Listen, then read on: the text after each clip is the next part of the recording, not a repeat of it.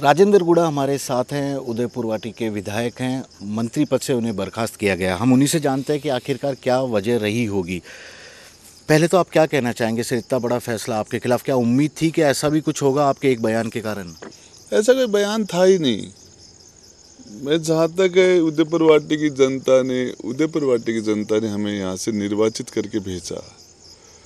तो ये एक विश्वास था विश्वास लोगों का कि हम वहाँ जाके और महिलाओं के साथ, बुज़ुर्गों के साथ, बेरोजगारों के साथ हम वहाँ जाके अच्छे फैसले करेंगे और करवाएँगे।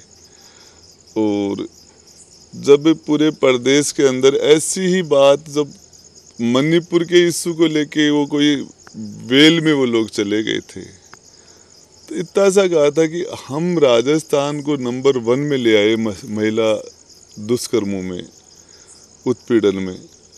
तो कम से कम अपने गिरेबान में झाँक ले, हमें थोड़े दिन बाद में जनता के सामने जाना पड़ेगा, ये चीज़ें हमें जवाब देना पड़ेगा। इतना से बात थी और कोई बात नहीं। इस पर तो सरकार को इस साइड में काम करना चाहिए था, मुझे बर्खास्त करने की ज़रूरत नहीं थी।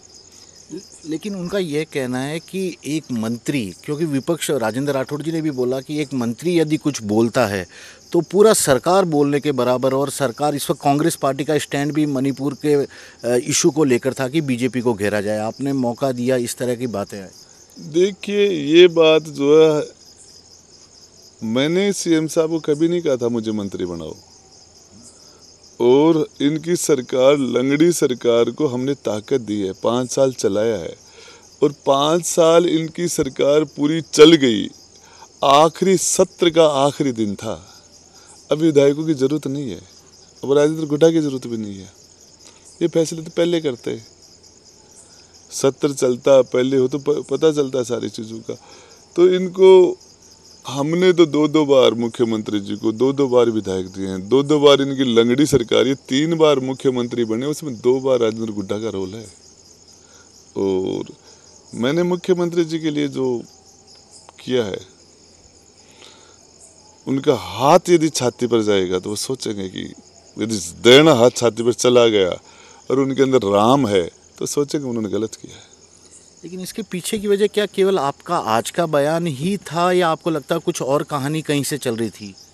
पहले से भरे पड़े थे ये। पहले से भरे पड़े थे। मैं आपको बताना चाहता हूँ, मैं राव शेखा का वंशज हूँ शेखा वाटी के संस्थापक राव शेखा तीन पीढ़ियाँ एक साथ कट गई थी रलावता में एक महिला महिला के सम्मान के लिए। सिर्फ़ एक। मेरे क्षेत्र के अंदर एक माइनॉरिटी के बच्चे का अपहरण हुआ था। उसके लिए मैंने जान की बाजी लगा दी थी। सत्तर हज़ार लोग इकट्ठे हो गए थे यहाँ। और हम हमारे क्षेत्र के अंदर, राजेंद्र गुड्डा की अलग राजनीति है। जिस तरीके से हम राजनीति करते हैं, उसमें जनता के प्रति हम हमारी जवाबदेही है। जनता हमसे डायरेक्ट पूछती है कि तुमने क्या किया? एक एक माता, एक एक बहन, एक एक बेटी, उनके पर हम राजस्थान की सबसे बड़ी पंचायत में बैठ के जो हम फैसले और वहाँ बैठ के हम जिस तरीके से हम चुप हो जाए हम बोल भी नहीं पाए ये क्या है? तो क्या आप अपने उस बयान पर जो आज विधानसभा में दिया उस पर अब भी कायम है कि राजस्थान में महिला अत्याचार नंबर एक है राजस्थान? सौ परसेंट कायम हूँ सौ परसेंट। मैं आपको सच बोलना यदि सजा सच बोलना यदि पाप है तो पाप तो आगे भी करेंगे। तो कभी दिमाग से चला ही नहीं कभी मैं तो दिल से चलता हूँ सौ परसेंट जो मेरा दिल कहता है वो मैं करता हूँ। जो मेरी जनता कहती है वो मैं करता हूँ। पहले भी करता था आज भी करता हूँ आगे भी करता रहूँगा। मुख्यमंत्री जी तो आपके इलाके में आए थे जन्मदिन पे बेटे के कार्यक्रम में भी आए थे उन्होंने बोला कि आपके कारण ही उनकी सरकार बची है। इस तरह के कठोर फैसले की उम्मीद। बच गई ना सरकार। अब राजेंद्र गुडा की क्या ज़रूरत है? बच गई। राजेंद्र गहलोत साहब की उम्र के तिहत्तर साल हो गए उनको। गार्जियन बने थे हमारे। मैं तुम्हारा गार्जियन हूँ। जब हमारे गार्जियन थे तभी राजेंद्र गुड्डा ने जान हथेली में लेके और इनकम टैक्स ईडी की रेड के अंदर जो नौवीं मंजिल पर जाके जो सर्जिकल स्ट्राइक की उसी की सजा तो भुगत रहे हैं। सर एक आखिरी सवाल। अब राजेंद्र गुड़ा का अगला स्टेप क्या होगा? क्या बीजेपी के साथ? क्योंकि बीजेपी खुलकर आपके सपोर्ट में आई हुई है। उनका कहना है कि कांग्रेस में अंदरूनी लोकतंत्र खत्म हो गया है। बीजेपी से चुनाव नहीं लड़ूँगा। कभी बीजेपी के साथ नहीं जाऊँगा। बीजेपी के साथ बीजेपी के सिंबल पे चुनाव नहीं लड़ूँगा। कांग्रेस में ही रहेंगे? अब शायद मुझे वहाँ भी पता नहीं वो रखेंगे कि नहीं रखेंगे लेकिन मैं तो कांग्रेस में आ ही गया। आप कांग्रेस में रखेंगे या निकालेंगे वो तो उनका करना है। राजेंद्र गुड्डा की शायद ज़रूरत अब नहीं है उनको। क्यों ऐसा बोल रहे हैं? बार बार कोई खास ऐसी वजह आपको नज़र आई थी सर कि इस तरह के शब्द आप खुद भरे मन से बोलने को मजबूर हो रहे हैं आज। साहब दूध में से मक्खी की तरह निकाल दिया उन्होंने, जिस तरीके से। क्या गलत बोला था मैंने? क्या दिव्या मदेरणा ने नहीं कहा कि विधायक सुरक्षित नहीं है? जब एक हमारी माननीय विधायक ये कहती है, हम सुरक्षित नहीं हैं। और जब सारी सारी घटनाएँ सामने नहीं हो रही, रोज नहीं हो रही, क्या आरपीएससी में रोज पेपर आउट नहीं हो रहे? क्या हम बेरोजगारों के साथ न्याय कर पाए? पाँच साल के पहले हम क्या राजस्थान के नौजवान को क्या जवाब दें? हमारे यहाँ आपको बताना चाह रहा हूँ। पिछले दो महीने के अंदर मैं आपके पास आंकड़े दूँगा, तीस लड़के सुसाइड करके मर चुके बेरोजगारी की हालत क्या है? एक पेपर आउट हो जाता है, नौजवान जो तैयारी करते हैं उसके बूढ़े माँ बाप किस नज़र से उनकी आशा टूटती है? क्या हो रहा है? क्या उनके प्रति हमारी जवाबदेही नहीं है। जब हम जनता के बिल्कुल बीच में रहते हैं, बिल्कुल बीच में नहीं मैं मैंने कभी वाई श्रेणी ली की सुरक्षा ली, ने कभी जेड सुरक्षा ली, मैंने तो कभी एक कॉन्स्टेबल भी अपने साथ नहीं रखा। मैंने तो कभी एस्कोर्ट भी नहीं ली। मैंने तो और जो सरकार का बंगला था, उसका मैंने तो सौ परसेंट लोगों की सेवा के लिए मैंने तो उसको यूज़ किया है। सौ परसेंट। गरीबों की सेवा, बीमारों की सेवा, हमने और ये तो अब करते रहेंगे। सर एक आखिरी सवाल का जवाब चाहेंगे और पूरी ईमानदारी से। क्या 2020 के बाद कांग्रेस में सब कुछ ठीक चल रहा था? जैसे कांग्रेस कार्यकर्ता नेता उम्मीद कर रहे थे।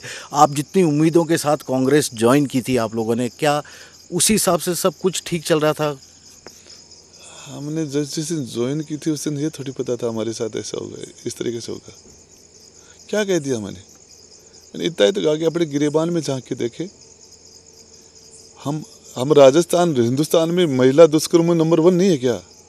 ये हमारे लिए शर्म की डूब मरने की बात नहीं है क्या? ये सरकार में मंत्री रहते हमारे लिए ये क्या शर्म की बात नहीं है? हमें इसमें रिज़ल्ट नहीं देना चाहिए क्या? इसमें ये कहते हैं कि हमने मुख्यमंत्री जी ने कह दिया, सारी एफ़ आई आर महिला दुष्कर्म बलात्कार के मुकदमे में कब एफआईआर नहीं होती थी? एफ़ आई आर तो सभी दुष्कर्म जैसे मुकदमे हैं, मर्डर जैसे मुकदमे इन इनमें इन तो होती है एफ़ आई आर सर, मेरा सवाल था पॉलिटिकली क्या कांग्रेस में सब कुछ ठीक चल रहा है? जिस तरह की बातें, जिस तरह के बयान आपने भी सचिन पायलट के सपोर्ट में दिए थे, उस लिहाज से ये सवाल पूछा गया देखिए साहब पायलट साहब के बारे में, वो पायलट साहब नौजवान हैं, युवा हैं, और अपनी, वो अपने जवाब देने में खुद सक्षम है। और पायलट साहब ने भी जो स्थितियाँ रही है पीछे, पाँच साल तक पायलट साहब बीजेपी के खिलाफ लड़े। पाँच साल में पायलट साहब को तो विपक्ष मान लिया। विपक्ष का, विपक्ष तो रहा ही पायलट साहब को तो माना है। पैदल चलना पड़ रहा है, छाले हो रहे हैं, धरने देने पड़ रहे हैं, गद्दार, नीच, नालायक, पता नहीं क्या क्या नहीं किया उनके साथ।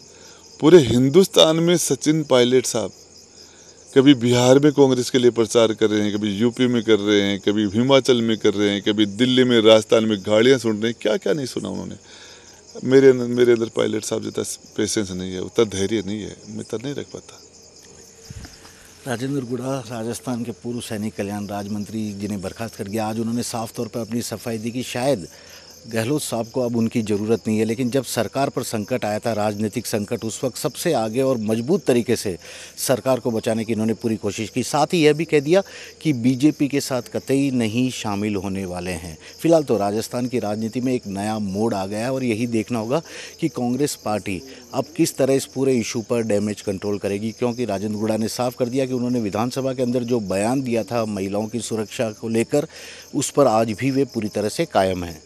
कैमरामैन विजय सिंह के साथ श्रीवत्सन न्यूज़ 24 नमस्कार, मैं हूँ मानक गुप्ता। अगर आपको हमारा ये वीडियो पसंद आया हो तो इसे लाइक और शेयर ज़रूर करें। और हाँ, हमें सब्सक्राइब और फॉलो करना ना भूलें, ताकि आप देश और दुनिया की कोई खबर मिस ना करें। तो जुड़े रहिए हमारे साथ और देखते रहिए न्यूज़ 24